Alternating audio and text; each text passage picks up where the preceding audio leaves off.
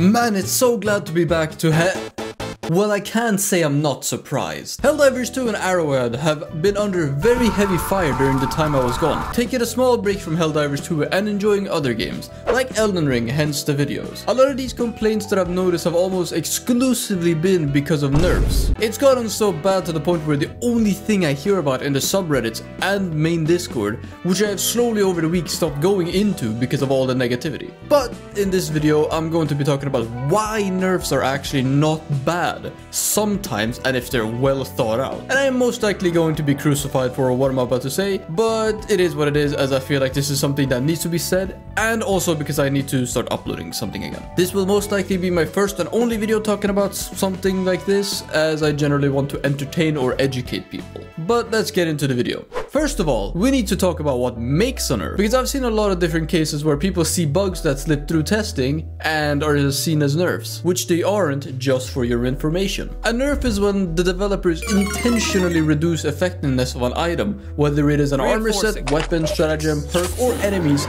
you name it. Nerfs can vary from big to small to barely noticeable to something you wouldn't pay attention to if you use an item as it really is intended. Hell, Helldivers 2 has had a lot of varied nerfs nerfs. Some good, some bad, some really bad, and some downright questionable. Nerfs are there in order to balance out a game's experience, to make said game less one-sided or monotonous and to give more variation. But this is only achievable if the developers manage to keep a good balance between enemies and allies. And that is something the developers have been struggling as of recently. I'm not hating on the developers or anything, but there have been some nerfs and additions to the game that have been very questionable, especially in contrast to how the enemies keep evolving and are practically stronger than ever now. Nerfs are good, but only if done right. And this goes for both players and enemy side. For example, take this bad boy. You know, the weapon I made a video of a while ago. This is one of the very rare occasions where I thought a nerf was necessary and healthy for the game. Not only was the railgun very ammo efficient,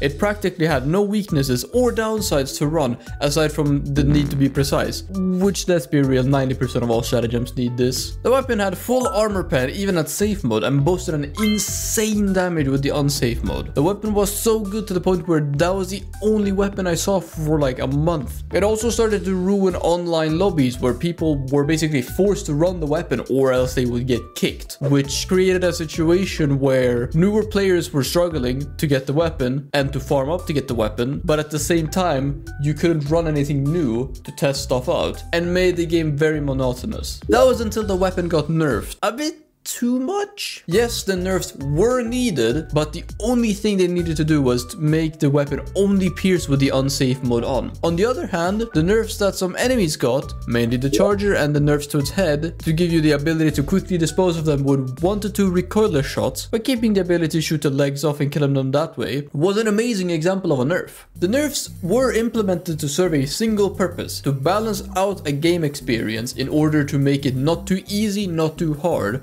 and that is something Arrowhead manages to do sometimes. And now some of you may be thinking, Arrowhead should only buff. That's the best way to balance. And to that I gotta say, have any of you ever played a looter shooter? Maybe even a Souls game? Then surely you must know about the Flame of the Redmanes, the Hoarfrost Storm, anything that comes from Warframe or Destiny 2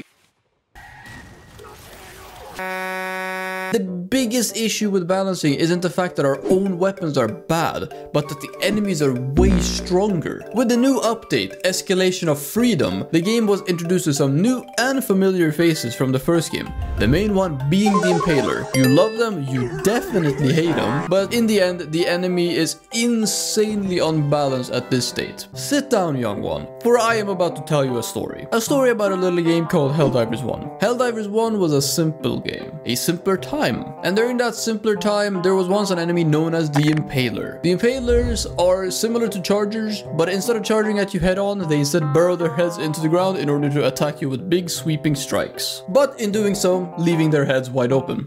Sound similar? That's because the same enemies are in Helldivers 2, but 10 times worse. See, in Helldivers 2, not only are the impalers designed to cut off your escape routes, unlike in Helldivers 1, which did the opposite and instead tried to attack you head on, but the impalers are designed in Helldivers 2 so that every goddamn time they attack you, you fall on your ass flat instantly. Seriously, who thought designing an enemy made to cut off escapes and permanently keep your ass ragdoll was a good idea.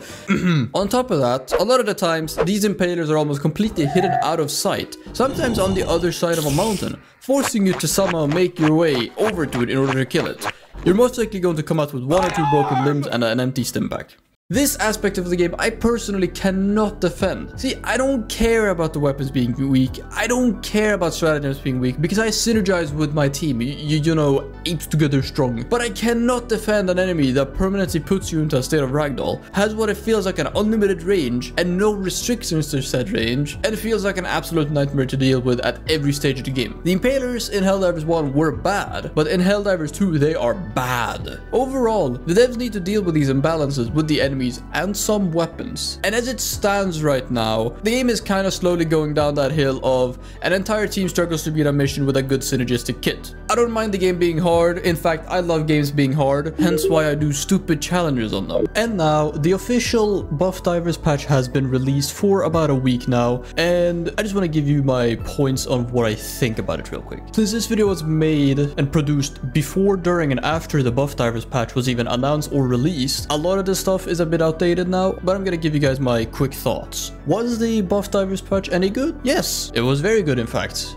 It's alleviated a lot of the pain points of the game and things that I dislike, such as rocket devastators and rockets for the automaton faction, as well as some annoying parts about the chargers, as well as bile titans, etc, etc. There's still a decent amount of issues with the game, such as with ragdoll physics, but I'm sure that they will fix it. But overall, update good, but I hope you guys enjoyed this video. I do apologize for being somewhat negative in this video, but I kind of had to get this off my chest as I feel like a lot of people don't know that only buffing is also unhealthy for the game. Buffing items is just as unhealthy for a game, if not worse, and the developers need to find a good middle ground. Hopefully, as for my next video, I'll be doing something that I feel like a lot of people will enjoy. I will be playing a Helldivers 2, but an AI chooses my loadouts and Nothing could go wrong, right?